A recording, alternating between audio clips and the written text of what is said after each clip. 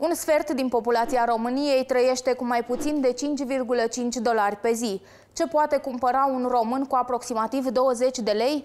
Poate o pâine, un litru de lapte și un kilogram de cartofi. Economistul șef al Băncii Mondiale a declarat astăzi la București că România are cei mai mulți săraci la nivelul Uniunii Europene.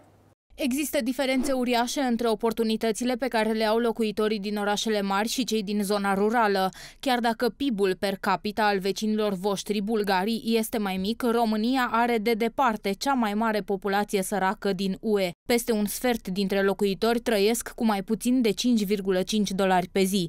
Dacă ești născut la țară, nu vei avea acces la o bună educație și la un sistem medical eficient. În România s-au făcut multe îmbunătățiri în ultimii 30 de ani, dar încă sunt mulți oameni rămași în urmă. Există investiții în infrastructură, dar calitatea este foarte joasă, ceea ce scade competitivitatea firmelor și descurajează migrația celor din zona rurală către zonele urbane pentru acces la slujbe, educație și sistem medical, a spus Donato de Rosa, economistul șef al Băncii Mondiale, într-o conferință de presă susținută la București.